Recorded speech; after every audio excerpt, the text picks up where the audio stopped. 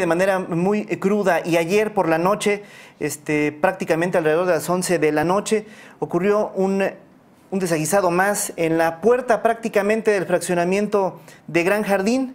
Una mujer fue eh, acribillada prácticamente casi cuando entraba al fraccionamiento. Y para conocer los detalles y el seguimiento de esta información está con nosotros nuestro compañero en la vía telefónica, Alejandro Sandoval. Alejandro, ¿qué tal? ¿Cómo estás? Muy bien, Javier. Eh, muy buenas tardes, al igual que todo el auditorio de Zona Franca. Pues como lo señalas, fue anoche cuando se dio este ataque contra Cinia Campos, de 40 años de edad. Ella viajaba en un automóvil, iba precisamente entrando a este fraccionamiento, estaba formada incluso en una fila de varios vehículos eh, en la zona de visitantes a este fraccionamiento, cuando es atacada por un sujeto, es atacada a quemarropa, eh, el día de hoy la Procuraduría de Justicia del Estado da a conocer algunos detalles de este homicidio, como el tipo de arma que fue empleada, que fue de las características de 9 milímetros, y eh, resulta que la persona que priva de la vida a Cinia Campos es grabada, es grabada en un video de seguridad de las cámaras de cámaras de seguridad de ahí de este fraccionamiento y se, en estos videos pues se observan detalles de la mecánica del ataque lo que te comento que fue un ataque a quemarropa, es decir, a tan solo unos centímetros de distancia de, de Ciña Campos, que ella, te digo, estaba su vehículo detenido en la entrada esperando el paso, esperando que levantaran la pluma de los vehículos que iban adelante, y es cuando se registra este ataque. Se habla de que fueron eh, fue una descarga total del arma, es un arma de 9 milímetros, y se habla que traía 18 tiros, es decir, le descargó el, el asesino. Los 18 eh, tiros que tiene esta arma, 9 milímetros, y pues es así como priva de la vida a Cinia Campos. Las autoridades el día de hoy, Javier, dicen a conocer que eh, Cinia Campos iba acompañada de una niña de 8 años de edad que resultó ilesa y pues eh, se ha dado a conocer también que eh, en cuanto a la, a la mecánica pues de, de estos hechos que ocurrieron anoche Javier es de que una vez que realiza este ataque el agresor escapa en una motocicleta y también se habla de la intervención de una camioneta. Eh, lo que nos dicen en, el Ministerio Público, en este caso el procurador de justicia Joel Romo Lozano el día de hoy, es de que se está haciendo una investigación precisamente del entorno de esta mujer para establecer, pues esclarecer pues qué fue lo que ocurrió, es decir, el móvil del ataque. Un dato, Javier, también importante eh, que vale la pena comentar es que Ciña Campos era hija de Salvador Campos Sainz, quien fue asesinado el año pasado, en el mes de octubre. Él fue asesinado aquí en la ciudad de León y es sobrina de Daniel Campos Sainz, alias El, Garrulla, el Garruñas,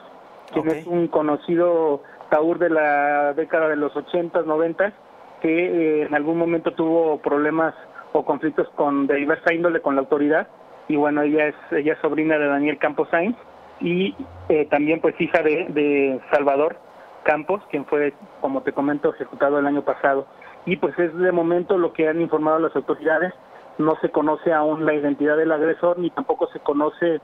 pues el motivo o la causa de este este de este crimen, es decir, el móvil el móvil del ataque, Javier. Es lo que lo que lo que respecta a este caso. Correcto, Alejandro. Pues bueno, es un hecho que finalmente tomó una gran relevancia ayer por la noche y pues bueno, seguirá la, investigación, debe de seguir la investigación porque evidentemente este tema debe de seguir y finalmente pues digo, por la tranquilidad de, los habitantes de esa zona, que es bastante habitada en la zona norte de la ciudad de León. Este, y Alejandro, este, rápidamente cuéntanos, ya hubo una resolución de un importante homicidio que tuvo relevancia, que movió a los vecinos de Parque Manzanares. Así es, así es, Javier. El día de hoy también el, funcionario de la Procuraduría de Justicia, el, titular de la región A aquí, aquí en León, eh, que tiene que ver pues con todas las investigaciones, eh, nos informó el día de hoy sobre la detención del probable homicida del joven Joel Velázquez. Eh, recordarás este caso fue él fue asaltado en la zona centro de la ciudad y resulta pues que mm, cuando lo asaltan se dan cuenta de que la mochila que él llevaba pues no traía ningún objeto de valor más que un, un topper donde su mamá le hizo la, comida y él lo llevaba nada más ahí pues cargando de regreso a su casa después de, de, trabajar entonces esto esto pues generó como tú bien lo comentas una reacción parte de cierto sector de la sociedad, sobre todo familiares, amigos, conocidos del joven Joel Velázquez. Él tiene familiares en la colonia Manzanares. Recordarás también ahí, de ahí partió una marcha hacia, hacia la presidencia municipal precisamente para exigir justicia. Pues el día de hoy lo que se informa por parte del Ministerio Público es la detención del probable homicida. De hecho, fueron dos personas quienes participaron en la privación de la vida de Joel, uno de ellos adulto y otro menor de edad, y a quien detienen es, es al adulto. Él fue detenido el día de hoy a las 5 de la mañana ayer en un cateo que se hizo en la colonia Bellavista, que pues es cerca cercana a donde ocurrieron los hechos y eh, fue una orden de cateo otorgada por un juez hacia pues hacia el Ministerio Público, hacia la Procuraduría, es ejecutada esta orden de cateo y también ejecutada la orden de aprehensión contra el probable responsable, que no se ha dado a conocer todavía el nombre, Javier. Lo que se nos dijo es que más tarde se iban a generar la información a través de un comunicado oficial, el, cual no ha sido pues difundido hasta este momento, sin embargo pues ya está la confirmación de la detención del homicida de, del joven Joel Velázquez Javier. Correcto. Bueno, importante también mencionar este seguimiento, es un caso que dimos a conocer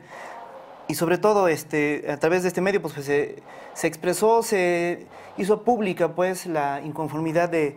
de su señora madre, eh, que evidentemente pues, pedía justicia pronta, ahora menciona, pues ya se hizo justicia, aunque la tristeza va a mantenerse, pues es algo lamentable que en un asalto se llegue a estos niveles de violencia. Alejandro, te agradezco mucho.